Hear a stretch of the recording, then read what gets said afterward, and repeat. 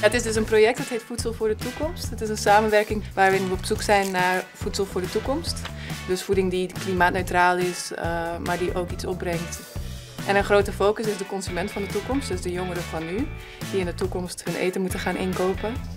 Ik heb, ik heb echt geen idee eigenlijk. ik heb er nog nooit over nagedacht. Ik denk dat vlees meer en meer gaat... Allee, daarom niet verdwijnen, maar ook gaat verminderen. Ik denk dat het vooral belangrijk is om, omdat we ja, met de groeiende wereldbevolking en zo, als we op deze manier blijven eten, gaat dat moeilijk worden om ja, heel die wereldbevolking te blijven voeden. Dus we moeten gaan kijken naar alternatieven. En dat is wat we vandaag proberen te doen. Um, een nieuw product uh, lanceren, waar dat dan uh, groep mee aan de slag kan gaan. Dus vandaag gaan we een lumpia variant maken.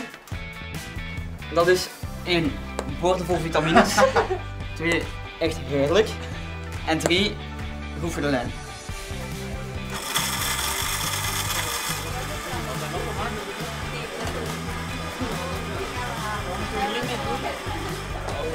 Bij veel mensen eigenlijk er zit er de goesting om te koken, lekker eten. Maar er is altijd een drempel tot het gaan koken. En die drempel is door het feit dat je nooit de ingrediënten in je hand hebt genomen. Wat zij nu is, ze zijn volledig gaan experimenteren met dingen die nooit geëxperimenteerd geweest.